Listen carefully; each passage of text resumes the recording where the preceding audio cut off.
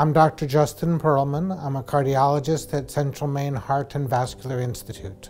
I offer non-invasive cardiovascular assessment and guidance, as well as advanced imaging. My philosophy of care is first and foremost to listen well, second to speak with clarity and clarify all of the relevant issues, help the patient be a decider and a participant, and then promote teamwork. It's extremely important that the patient be a major player in their care plan because, first of all, it's their right. They should have control over their life, and one of my primary objectives is to help them achieve that. Secondly, they're there 24 7. Other people are not.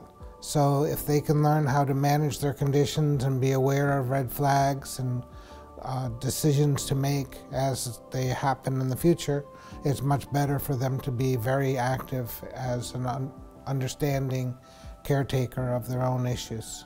I chose to specialize in cardiology because it is a scientific discipline that has a tremendous opportunity to innovate and adapt and customize care to really improve the quality of life of each patient.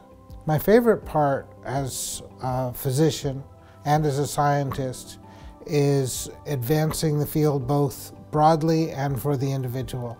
So seeing progress, helping people achieve their goals.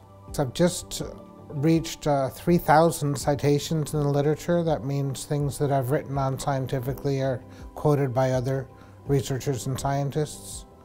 So there's a large contribution there, a footprint, and really I find it more important what I do with each individual patient, customizing their care, but that context is also um, a contribution.